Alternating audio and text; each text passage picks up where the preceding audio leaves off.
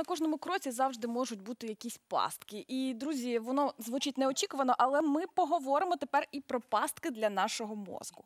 Як коріння, фреймінг, заміна атрибуту. Можливо, ви ці поняття чуєте вперше, але повірте, вони щодня на вас впливають. А от як саме вони впливають сьогодні, нам розкаже Олександр Кульчицький, експерт з комунікації. Олександре, доброго ранку. Запрошуємо до студії. Привіт, дуже приємно бачити сьогодні. Привіт. Доброго ранку. А, просимо.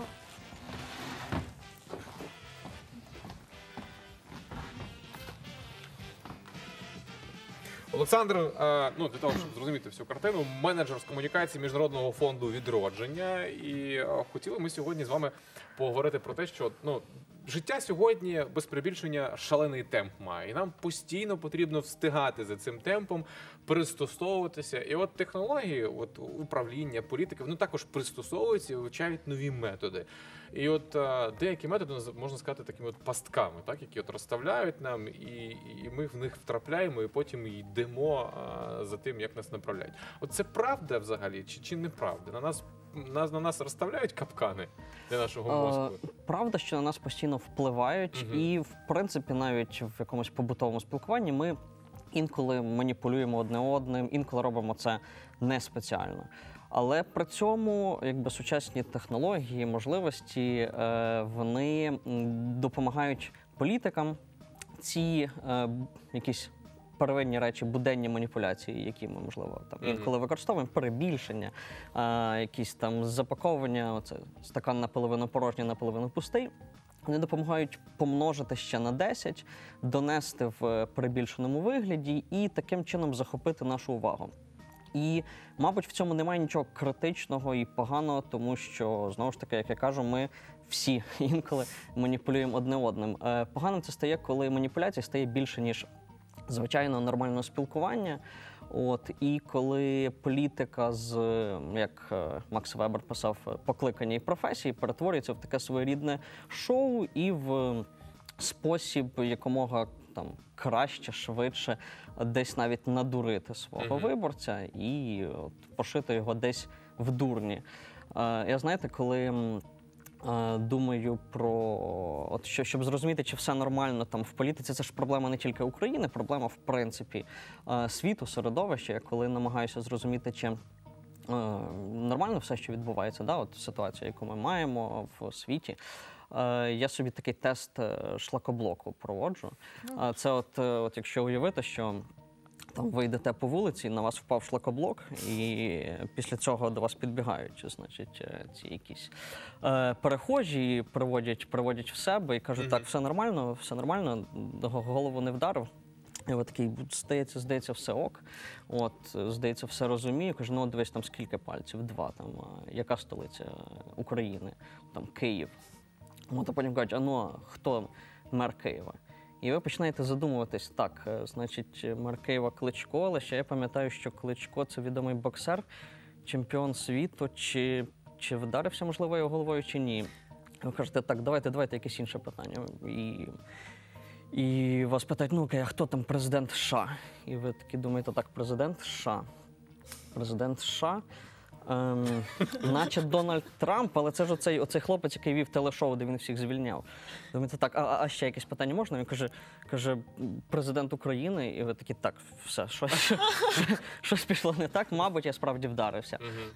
От, от такий тест. е, Ми швидко звикаємо до всього, до реальності, в якій ми живемо, але це в тому числі показує, що реальність в перспективі мин- минулих 10 років або всього, що було до 10 років тому, здавалось би сьогоднішня нам якось фантасмагоричною. Це в тому числі наслідок е, технологій, е, які використовують політики, і наслідок того, як вони множаться на сучасні технології, нові медіа, телебачення і так далі. Ну я так розумію, йде мова про ну, різноманітні технологічні поняття. Це от є коріння, фреймінг, заміни атрибуту, і, і у вас ще є великий список подібних е, так. понять. Це все багато дуже розумних слів, Мгм. але за ними ховається насправді. Доволі е, прості речі. Як коріння, це, от, наприклад, е, якщо входити в якісь побутові речі, щоб зараз не наводити е, політичні приклади, е, зовсім вже такі детальні. От, скажімо, там 2014 рік, і е, дуже різко зростають там, зростає різко долар, зростають ціни і. Якось я заходжу в е, супермаркет і бачу, що банани, які я звик купувати по 8 гривень, вони продаються вже по 25.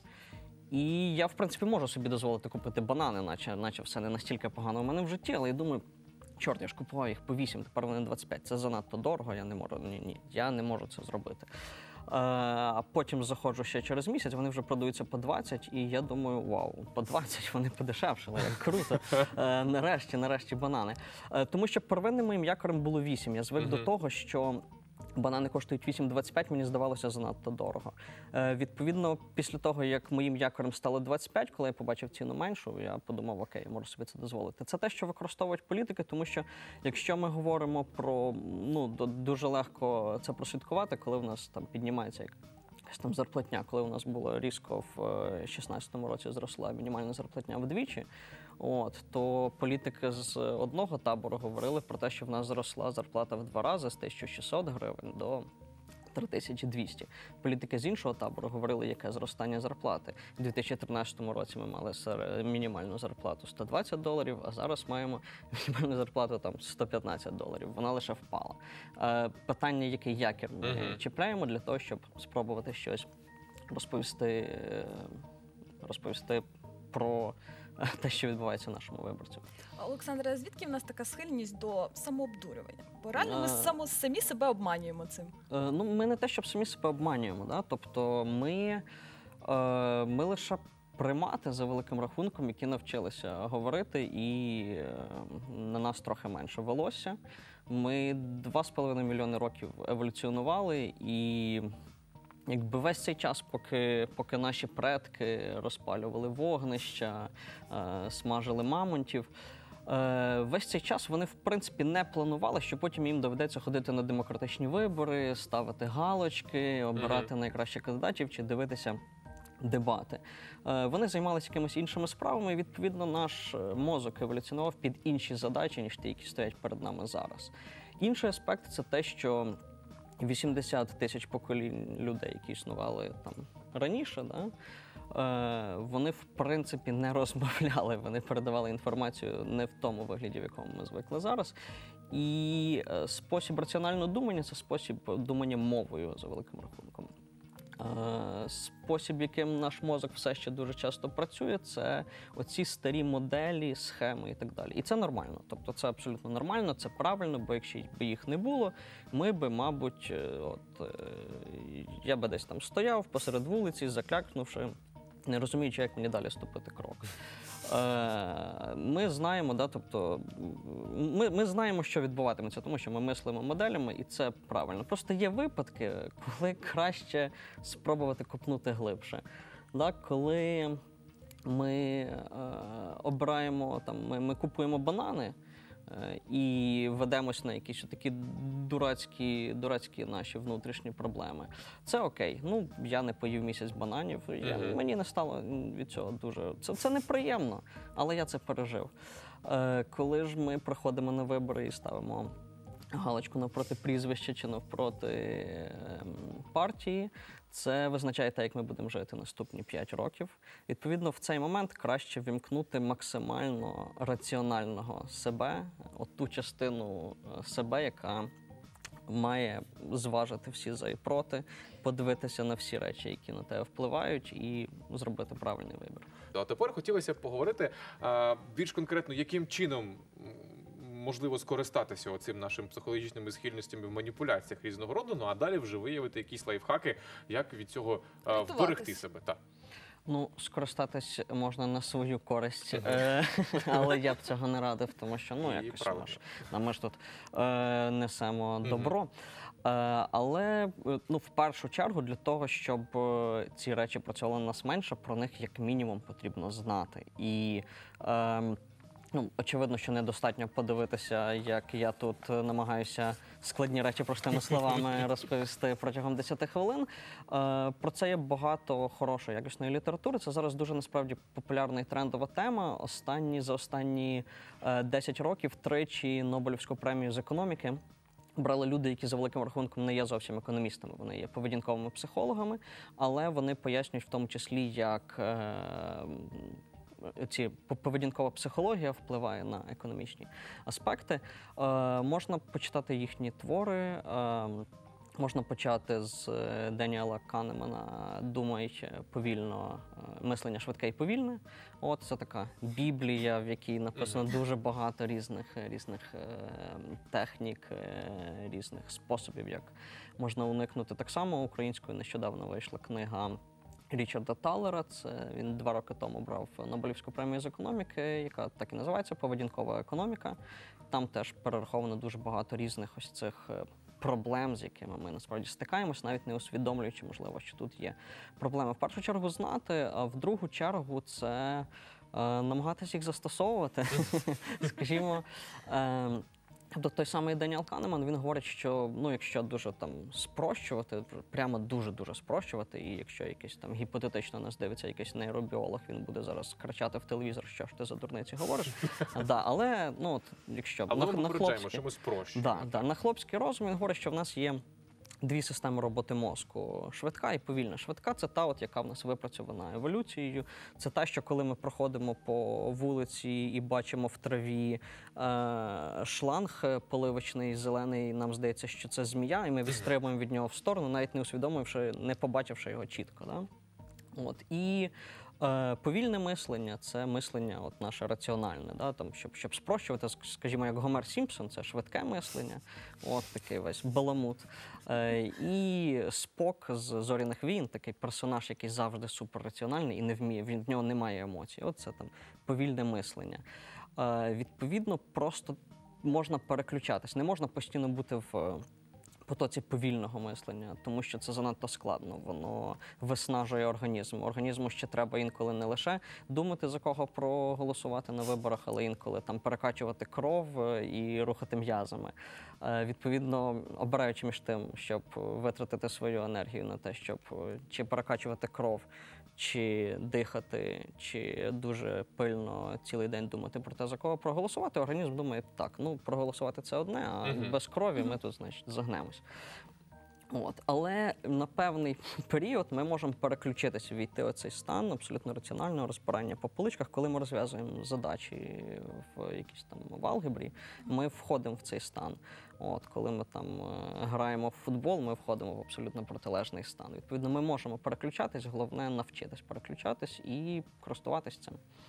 От в мене виникає зараз таке питання: соціальні мережі. Ми є всі активними користувачами соціальних мереж. Мені цікаво, чи є там пастки для нашого мозку. Що там на нас чекає? Це взагалі це така страшна, страшна тема за великим рахунком. Е, Недарма, недарма керівники багатьох технологічних стартапів Силіконової долини вони е, або обмежують своє користування смартфоном, або повністю відмовляються від нього на користь стареньких Nokia 3310. Е, і популярно серед них е, віддавати своїх дітей в школи, де заборонено користуватися технологічними пристроями. Не просто так, тому що справді. Ті, хто розробляють, працюють в соці... над розробкою соціальних мереж і так далі, там справді запарюються над тим, щоб читати тих е, науковців, яких я сьогодні згадував, і багатьох інших. І, врешті-решт, вони проводять е, тисячі своїх експериментів. Там справді все розставлено за великим рахунком. е, Будь-яка кнопка, кнопка лайку це теж своєрідна дофамінова пастка. Да? Ми отримуємо соціальне поглажування кожен раз, коли хтось нажимає нам кнопку лайк, і ми починаємо від цього якоюсь мірою залежати. Е, є такий е, гормон нейромедіатор окситоцин, от, який виділяється, коли ми спілкуємося з людьми, там, обіймаємось і так далі. І е, вчені заміряли, що в людини, яка написала пост в Фейсбуці, наприклад, і її починають активно лайкати і коментувати. Прям активніше, ніж вона розраховувала. В неї рівень окситоцину піднімається десь приблизно до такого ж рівня, як піднімається в е, людини, яка стоїть е, перед е, священником, який прямо зараз одружується. одружує. Тобто е, ми. Ми відчуваємо приємність від того, е, що відбувається в соціальних мережах. Інший аспект, да, що ми, наприклад, ем, Це своєрідна дофамінова пастка. Мгм. Дофамін це гормон, нейромедіатор очікування приємності. Да? Тобто, колись думали, що це приємного, зараз це радше про очікування приємного. Кожен раз, коли ми гортаємо стрічку, ми ж не знаємо, що нам висвітиться. Чи ще 120 записів про вибори, чи е, красивий котик. А, наприклад, я гортаю, гортаю, бачу красивого котика, вау, кльово, я гортаю далі, сподіваючись, що знову буде щось хороше. Я очікую, що знову отримую один щось, да, щось хороше. Можливо, там не знаю, фотографію когось в купальнику. Тобто, да, нас... Зрозуміло. Під, в принципі, підбиваючи підсумку, можна сказати, що аби контролювати себе у цих процесах, треба їх вивчати. Так і дуже гарним способом є саме вивчення спеціальної літератури для саморозвитку. Ну і е, якщо у вас вже, як кажуть, підгорає у Фейсбуці, коли ви щось читаєте, спробуйте порозв'язувати задачки з алгебри. Переключіться на раціональне мислення, і тоді все буде нормально. Олександр Кульчинський, менеджер з комунікації міжнародного фонду відродження. Дякую, Олександр, сьогодні Дякую. за час ваш зранку.